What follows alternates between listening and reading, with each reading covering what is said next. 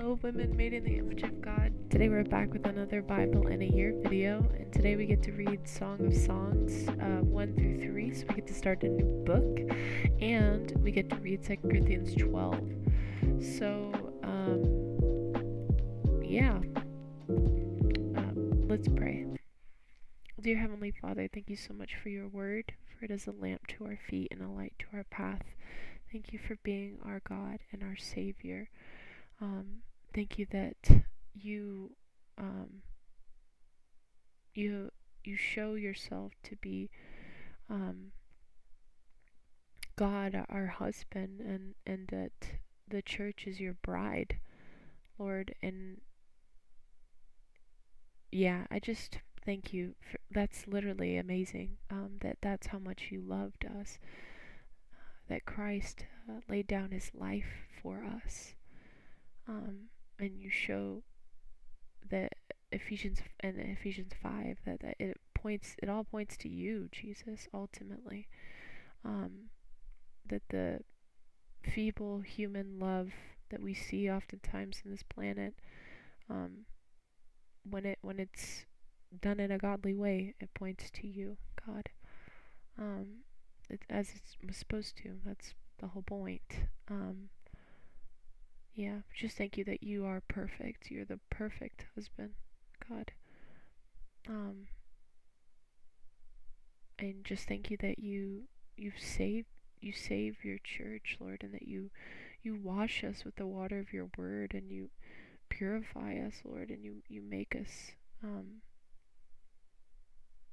yeah, we need you, Lord, and just pray that you would give us uh, understanding as we read uh, this new book, Lord, uh, that you'd help us to um, not be thrown off by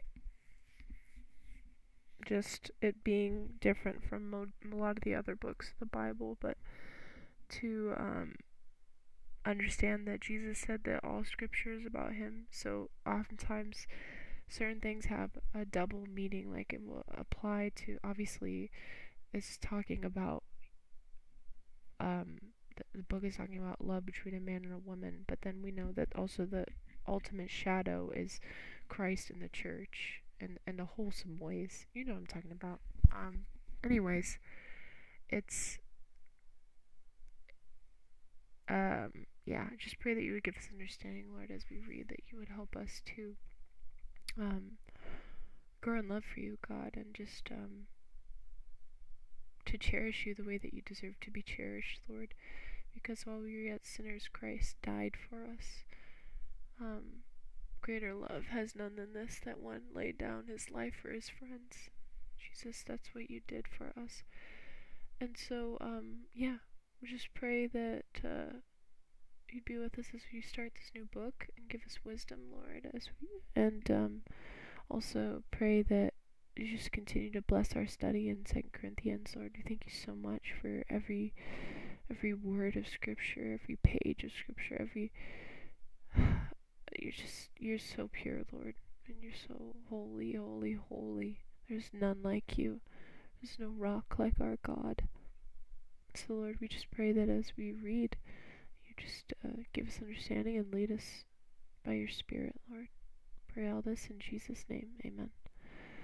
Okay, so before we even start, um, I actually, we're gonna read the notes, and they'll probably talk about this too, but I wanted to start off by watching a clip from this sermon.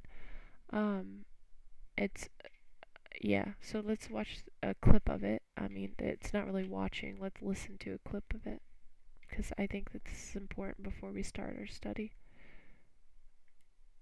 Let's open up our Bibles to the Song of Solomon, chapter 4. There is a debate in the evangelical community about whether or not the Song of Solomon should be preached as any other thing than a description of the love between a man and a woman. Uh, a great many scholars today have uh, rejected the idea that it represents in any shape, form, or fashion the relationship between God and His people, especially Christ and His church. And uh, they have a list of, of great and many arguments to back them up. I say that this is simply a book about the love between a man and a woman. But if we were to take heed to all their arguments, everything they say, And if we were to approve of everything they say, we could still say this.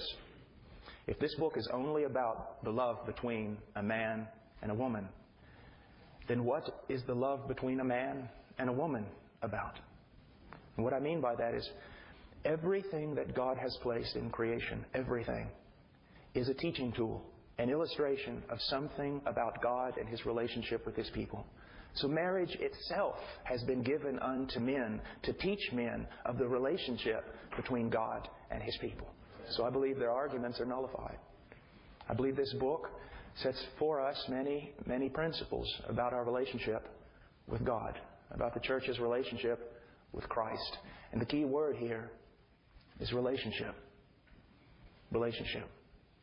Now, this man that was mentioned from the pulpit, this pastor, if I were to be his counselor, the first thing that uh, I would deal with him about would be this whether or not he has truly ever been born again. One of the greatest problems for the rapid spread of pornography in the so called church today is the so called church today is not the church. Amen. The true church of Jesus Christ is fully and completely regenerate.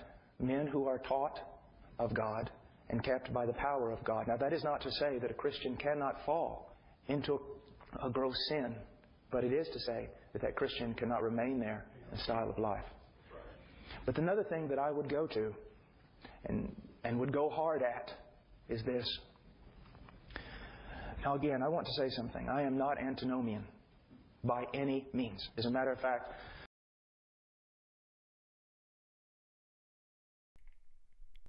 Um, I encourage you to watch the rest of this. I think that he does get uh maybe when he's talking about like how we follow the will of God. Um, he does get like I mean Paul Washer does get emotional sometimes. I I really love him so much though, and I have nothing bad to say about him. Um, but yeah, you know, if you have any questions, of course you can ask your pastor about those things.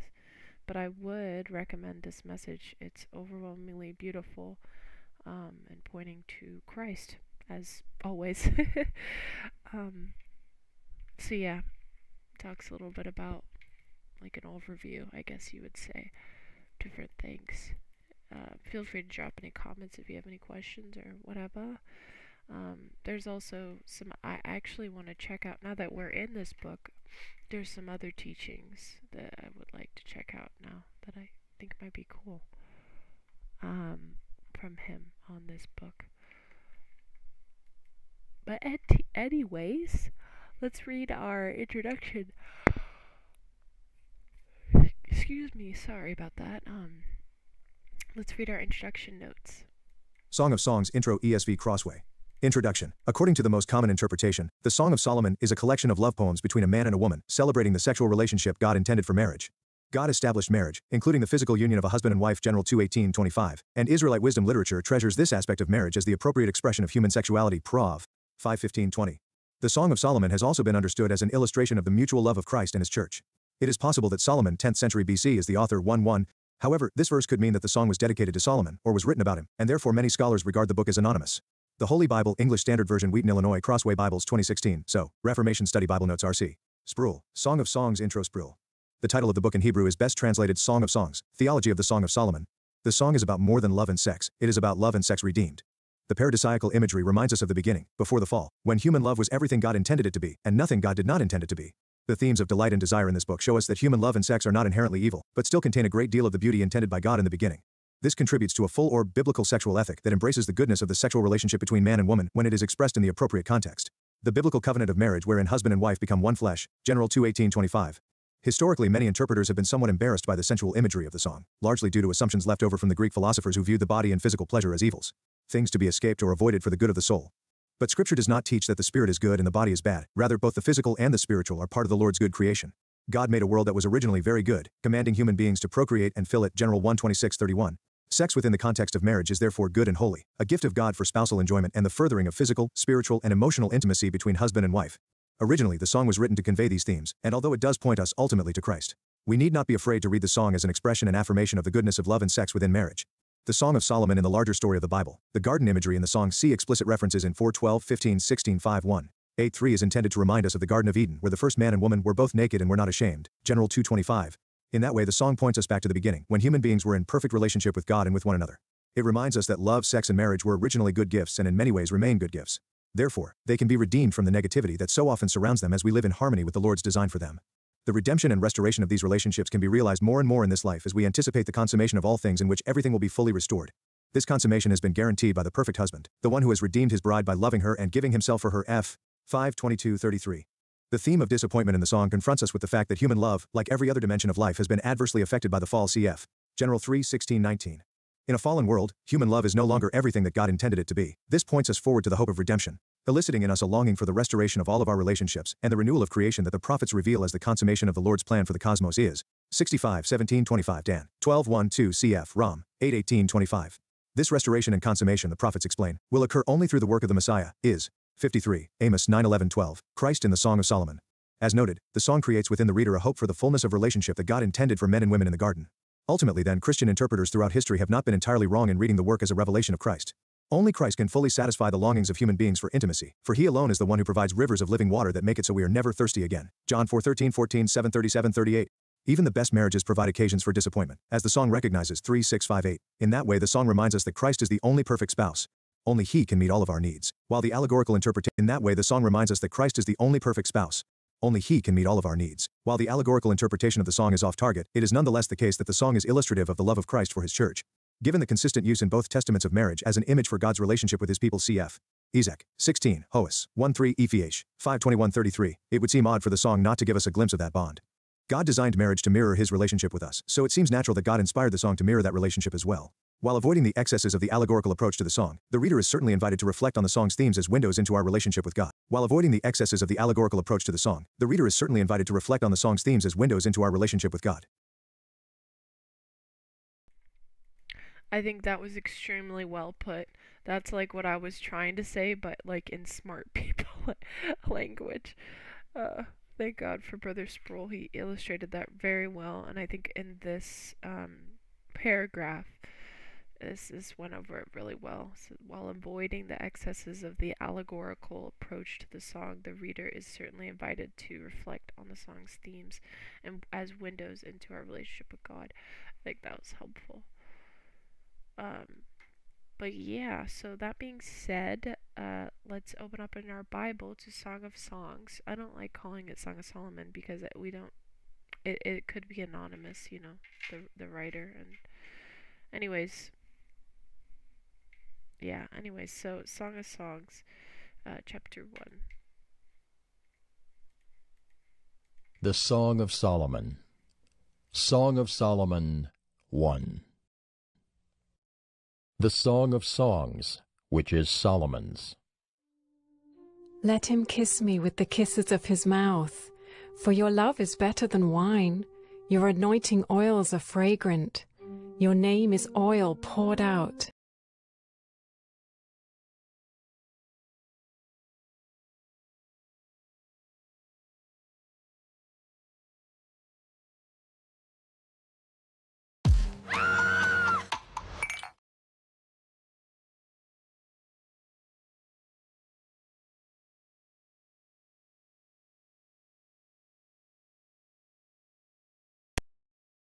The Song of Solomon, Chapter 1 The Song of Songs, which is Solomon's. Let him kiss me with the kisses of his mouth, for your love is better than wine. Your anointing oils are fragrant, your name is oil poured out. Therefore virgins love you. Draw me after you, let us run. The king has brought me into his chambers. We will exult and rejoice in you. We will extol your love more than wine. Rightly do they love you. I am very dark, but lovely, O daughters of Jerusalem, like the tents of Kedar, like the curtains of Solomon. Do not gaze at me because I am dark, because the sun has looked upon me. My mother's sons were angry with me. They made me keeper of the vineyards. But my own vineyard I have not kept. Tell me, you whom my soul loves, where you pasture your flock, where you make it lie down at noon. For why should I be like one who veils herself beside the flocks of your companions? If you do not know, O most beautiful among women, follow in the tracks of the flock, and pasture your young goats beside the shepherd's tents. I compare you, my love, to a mare among Pharaoh's chariots. Your cheeks are lovely with ornaments, your neck with strings of jewels. We will make for you ornaments of gold, studded with silver.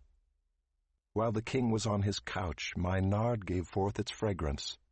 My beloved is to me a sachet of myrrh that lies between my breasts. My beloved is to me a cluster of henna blossoms in the vineyards of Engedi. Behold, you are beautiful, my love. Behold, you are beautiful. Your eyes are doves. Behold, you are beautiful, my beloved, truly delightful. Our couch is green, the beams of our house are cedar, our rafters are pine.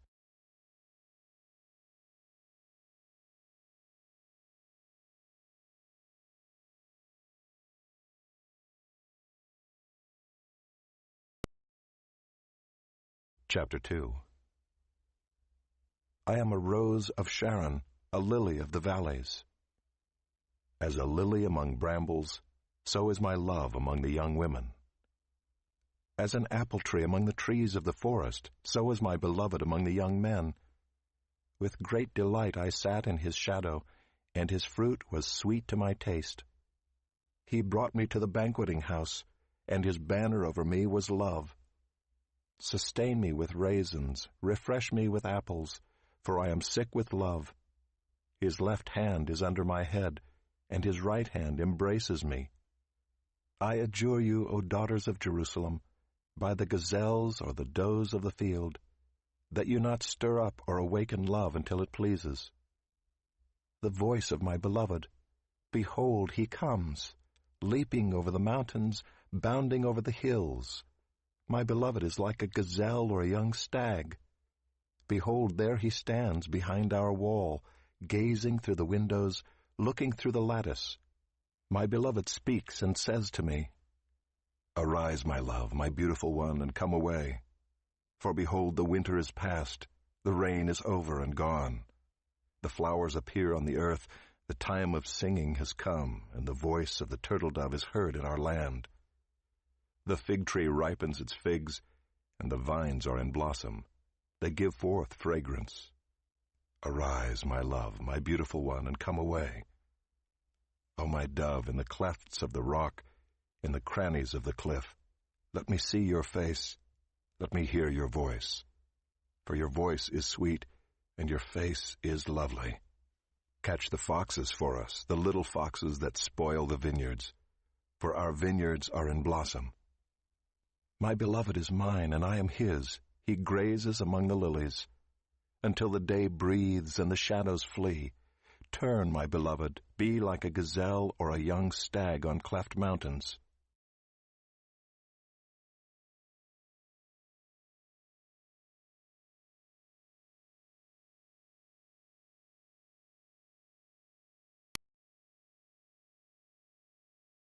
Chapter 3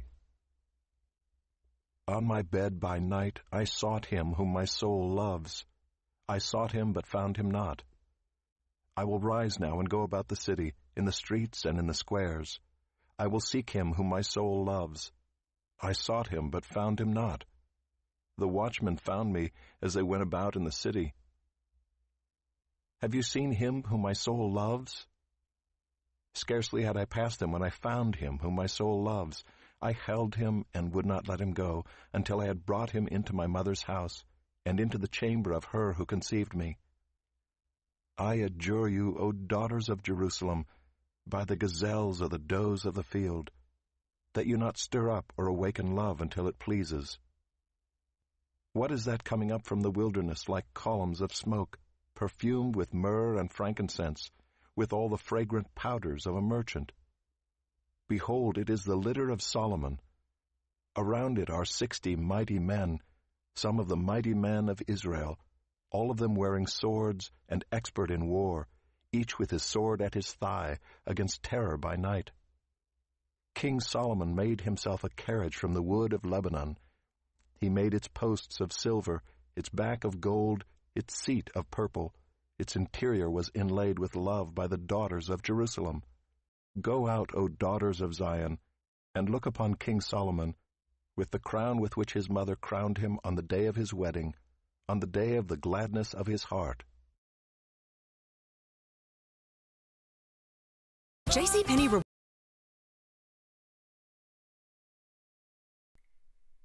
Okay, now we're gonna read the notes. Song of Songs 1 3, Chapter 1, 1 1. See Introduction, Title, Author, 1 2 4. Third person expressions in 1 2 4. Let him kiss me. The king has brought me open and close these verses, which are otherwise in the second person, your love, your name. This shifting of persons is common in Hebrew and prominent in the song. Note the sensuous nature of the language, which includes touch, taste, and smell. 1 3. Your name is oil poured out. The oil is the fragrant oil just mentioned, and having been poured out, would have filled the room with its aroma. 1 4 The king has brought me. This is the first of five occurrences of the word king. 1 4 12 3 9 11 7 5. Here in V there are two possibilities for the meaning. Either the king is just that, a king who has tried to win the young woman's affections, or he is her lover, whom she romantically fantasizes to be her king. The latter interpretation is to be preferred introduction, author, chambers. The word chambers here as elsewhere refers to the bedroom, the most intimate of rooms. We will exult and rejoice in you. We meet for the first time the female companions of the young woman. They are referred to as the daughters of Jerusalem, 1 5, daughters of Zion 3 11, and young women 6 9. Here they serve to confirm the young woman's appraisal of her beloved CV2, 156, a self-description wherein the young woman expresses displeasure with her deeply tanned skin, perhaps because it makes her appear to be an ordinary laborer. 1. Five tents of Kedar. Bedouin tribes that live on the edge of the desert make their tents of dark goat hair, as was apparently the case with the tribe of Kedar. Kedar was seen as an exotic land, Jer, my own vineyard. Vineyard occurs nine times in the song, where it is an image of sexuality in general, as was the case in the ancient Near East. And the woman's sexuality in particular, ca 12. 178, the young woman provocatively inquires as to where she can meet the man at noon verses 7, then the man indirectly but suggestively provides her direction. 1 7 like one who veils herself. Veils has the same negative connotations here as it does in general 8 14 15. The young woman does not want to be mistaken for a prostitute. 1 8 most beautiful among women. Elsewhere in the song this form of address is used only by the daughters of Jerusalem 5 9 6 1, 1 9 to first descriptive admiration of the young woman by the man. 1. 9. A mare among Pharaoh's chariots. Egyptian chariots were drawn by stallions. An ancient military strategy was to insert a mare into the mix in the hopes of distracting and confusing the stallions. The man uses the image to express his crazed passion for the young woman. 110 cheeks, neck, the first of many references to the beauty of the physical body. He begins by praising her in a modest manner. 111 We, in verse 4, the daughters of Jerusalem echo the young woman's praise of her lover. Here they respond similarly to his praise of her. The plural subject we goes against taking this verse as a speech of the young woman's lover using courtly language, since we is consistently used by various groups at other points in the book. 6 1 13 8 8 112 The king. The young woman's lover is again presented as a king, as indicated by the following verse. On his couch, lit, in his surroundings. The surroundings may not be a literal couch but may refer to the outdoors. C.E.G. 116 7 Tibin. 113 Myrrh, a gum resin native to South Arabia, it is exotic and valuable. Mixed with olive oil, myrrh was used as an expensive perfume. Between my breasts. The sachet between the breasts is an image of intimacy. 114 Henna blossoms. Henna bushes produce a substance that is applied to the body as an ointment or perfume. Engedi. This lush oasis is halfway down the western shore of the Dead Sea and contributes to the lush images of intimacy, and Engedi's location between the hills mirrors the sachet between the breasts. 115 These verses express mutual admiration, as is clear from the repetition of Behold you are beautiful. 115 Your eyes are doves. Doves occur in the ancient Near East as a symbol of lovemaking or seduction. Here they evoke the young woman's seductive power. See also 4.1. The young woman uses the same image in 512 cf. Also six 6.9. 116 are couches green. The HB. Word translated green means verdant, flourishing, or luxuriant, and it contributes to the lush images of intimacy. 117 beams, rafters. The cedar and pine trees provide the privacy for intimacy that would be provided by a literal house.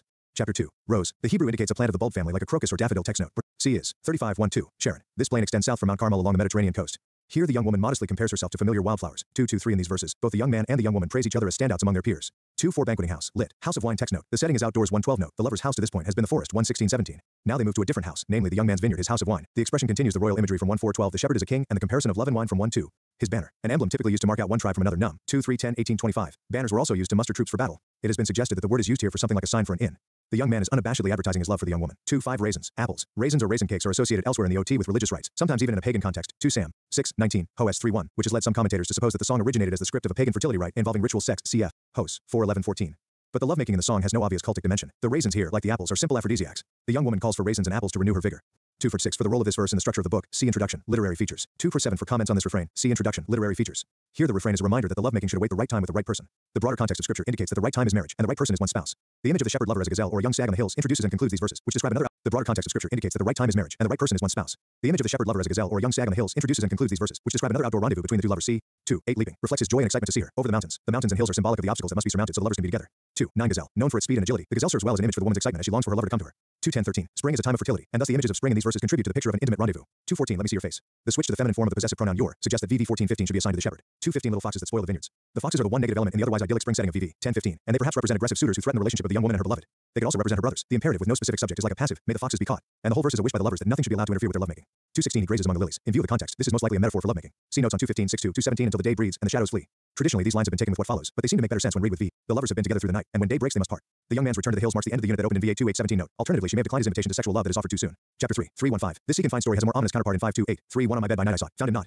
The young woman is not with her lover but alone on her bed, and the verb sought, repeated twice, underscores her intense desire to be with him, while the fact that she found him not indicates at least some level of tension or frustration within her.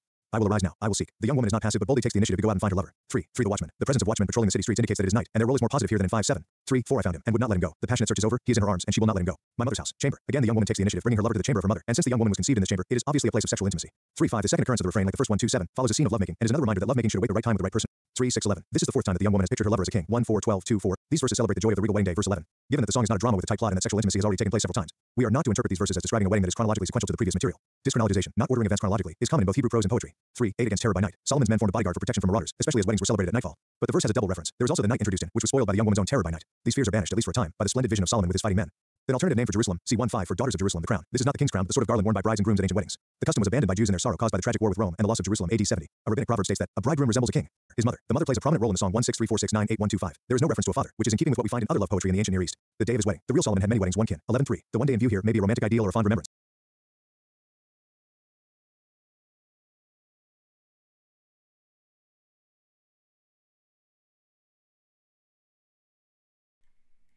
Okay, well, I think probably um, Sproul's earlier notes are probably beginning to make sense to you if this isn't something that you've read before.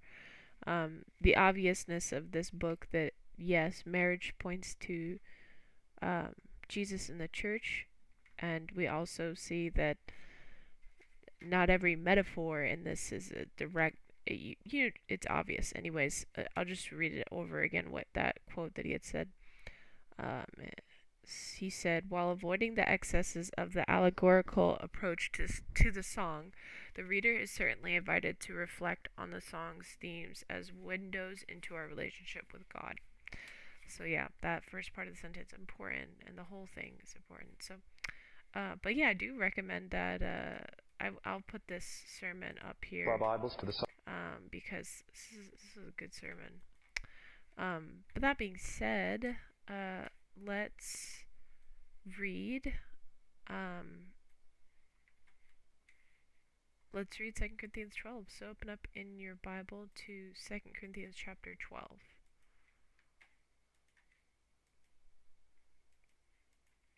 Second Corinthians 12 I must go on boasting, boasting.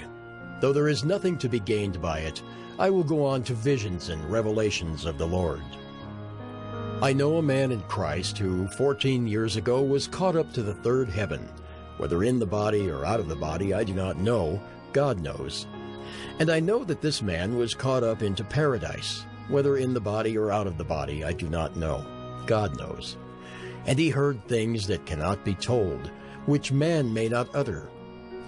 On behalf of this man I will boast, but on my own behalf I will not boast, except of my weaknesses. Though if I should wish to boast, I would not be a fool, for I would be speaking the truth.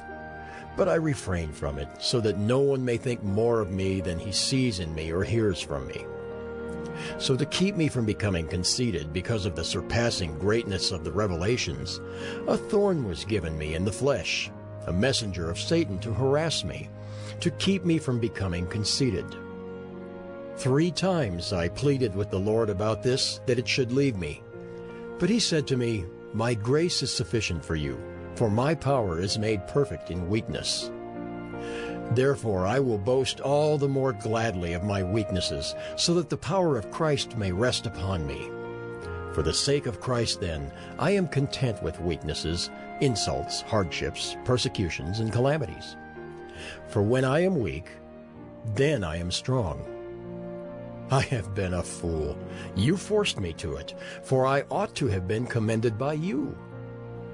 For I was not at all inferior to these super apostles, even though I am nothing.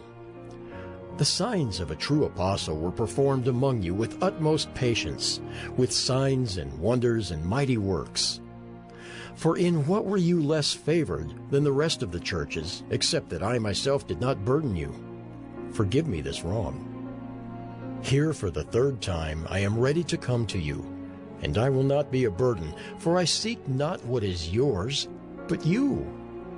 For children are not obligated to save up for their parents, but parents for their children. I will most gladly spend and be spent for your souls. If I love you more, am I to be loved less? But granting that I myself did not burden you, I was crafty, you say, and got the better of you by deceit. Did I take advantage of you through any of those whom I sent to you? I urged Titus to go and sent the brother with him. Did Titus take advantage of you? Did we not act in the same spirit? Did we not take the same steps? Have you been thinking all along that we have been defending ourselves to you? It is in the sight of God that we have been speaking in Christ, and all for your upbuilding, beloved. For I fear that perhaps when I come I may find you not as I wish, and that you may find me not as you wish that perhaps there may be quarreling, jealousy, anger, hostility, slander, gossip, conceit, and disorder. I fear that when I come again, my God may humble me before you, and I may have to mourn over many of those who sinned earlier and have not repented of the impurity, sexual immorality, and sensuality that they have practiced. Behind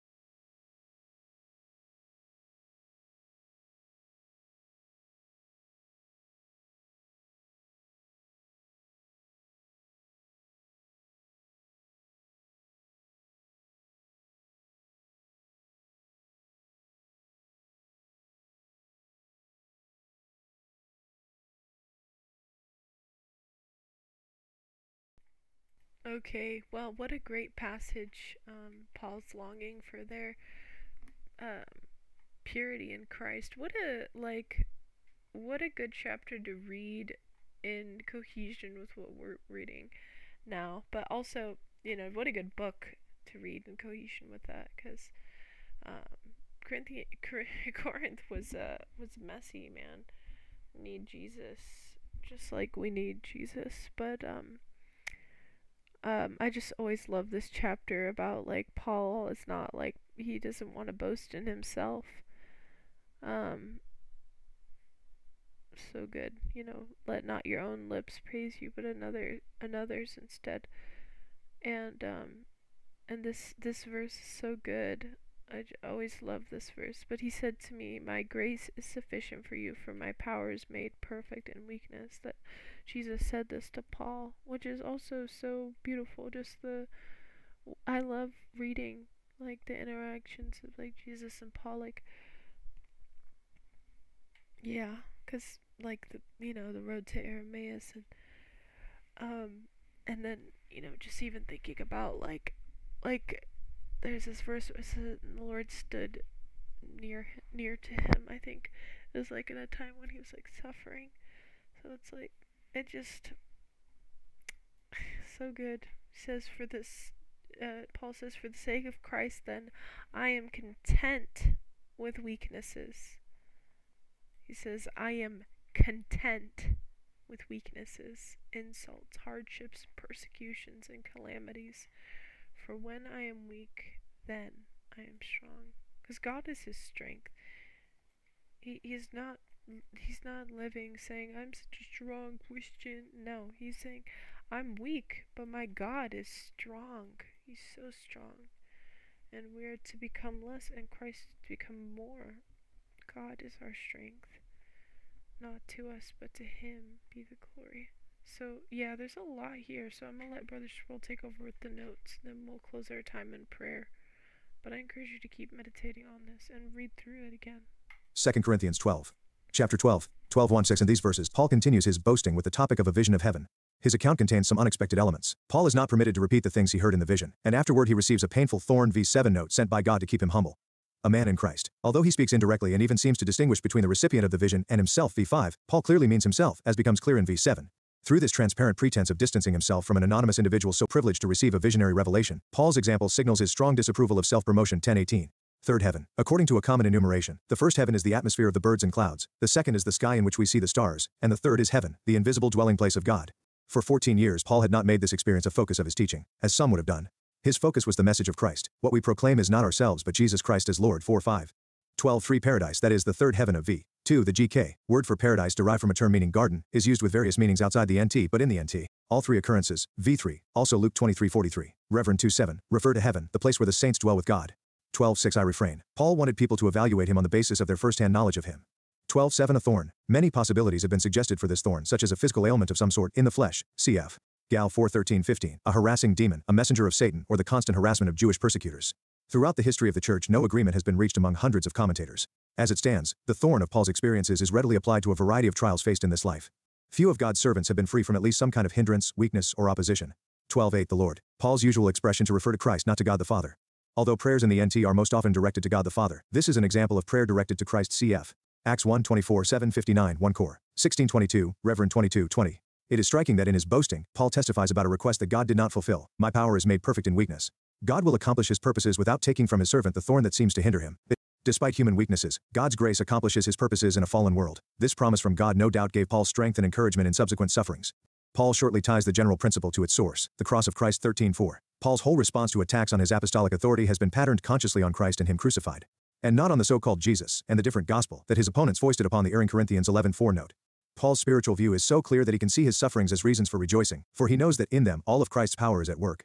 12. 11 You force me. Paul has to boast about his apostolic weakness because the Corinthians who know him well have not defended him against the false apostles, but instead have been seduced 11.1.3 by inflated self-claims and untrue criticism of Paul. 12 Signs of a true apostle. Paul identifies the signs of a true apostle with miracles, wonders and mighty works. Throughout this epistle, Paul also points to other marks that distinguish him from the false apostles. The changed lives of the Corinthians, 3 2 3, The blameless character of his ministry, 6.3.10.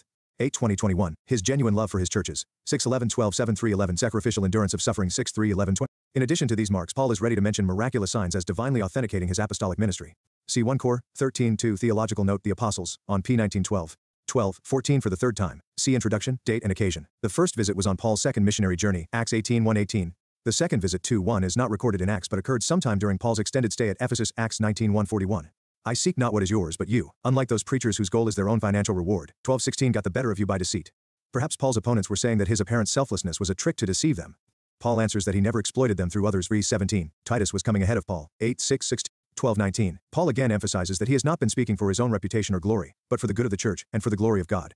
Again he reveals a strong awareness that everything he writes and does is in the sight of God. See note on 210. Paul's fatherly ties with the Corinthian church are strong, and he knows that if he returns to find some of them his children v14 still unruly, it will be humiliating for him. Just as parents are humiliated by the misbehavior of their children. Many of those who sinned earlier and have not repented, false apostles were not the only problem in Corinth. There were some people still engaging in sin, and Paul warns them, see 1 Cor, 5 1 2 6 9 20.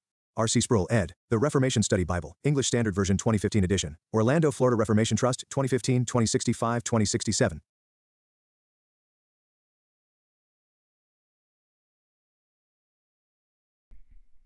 Again, the notes are so helpful. Um, so, yeah, please keep reading the, the scripture that we read, though, and uh, I would really encourage you to focus in on 2 Corinthians 12 um, the verses about um, yeah the, the by which what we just focused on when I when I went over what stuck out to me but um, yeah let's close our time in prayer. Dear heavenly father thank you so much that you are the most beautiful king of kings and lord of lords and that uh, you are our everything god. You are worth everything.